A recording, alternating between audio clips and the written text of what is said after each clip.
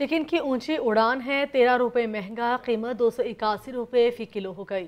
मजीद जानेंगे हमारे नुमाइंदा जाहिद आबिद से। जी जाहिद आबिद बताइएगा।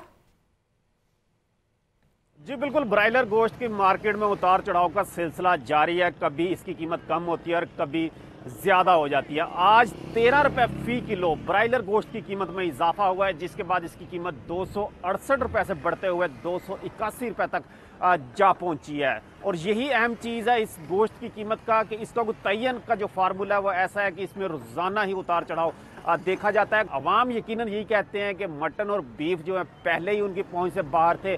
चिकन एक ऐसी प्रोडक्ट है जो कि वो खा खा खा सकते हैं, उनकी जेब इजाज़त देती है, लेकिन उसकी कीमत में भी इस किस्म के उतार चढ़ाव आते हैं कि उनके लिए परेशानी का बायस बन जाती है। इसी तरह जो अंडों की कीमत है, वो गुजशत कई रोज़ से एक सौ सैंतीस रुपये फ़ी दर्जन पर ठहरी हुई थी, लेकिन गुजशत दो रोज़ में उनमें इजाफा हुआ है और आज अंडों की कीमत एक सौ उनतालीस रुपये फ़ी दर्जन पहुँच गई है। ताहम चिकन की भी यही सूरत हाल है कि चिकन की तलब में थोड़ा सा इजाफा हो रहा है, थोड़ा सा मौसम बेहतर हुआ है तो तकरीबा में इजाफा हुआ है, जिसकी वजह से चिकन की तलब बढ़ी है और इसी वजह से इसकी कीमत में भी इजाफा देखा जा रहा है। जी।